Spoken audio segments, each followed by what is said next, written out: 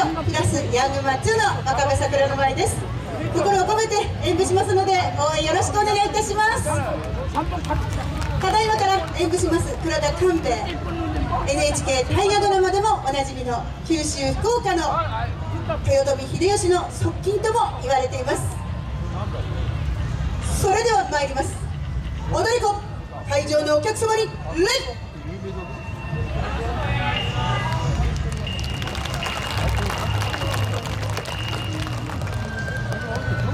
戦国の世天下人にも恐れられた男。乱世の世にあって類いまれなる再起。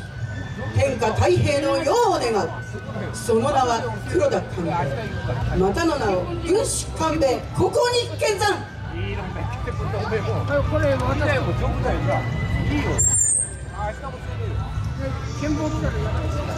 これあっちの入り口に俺いなかったらもう剣道で切ったからよ。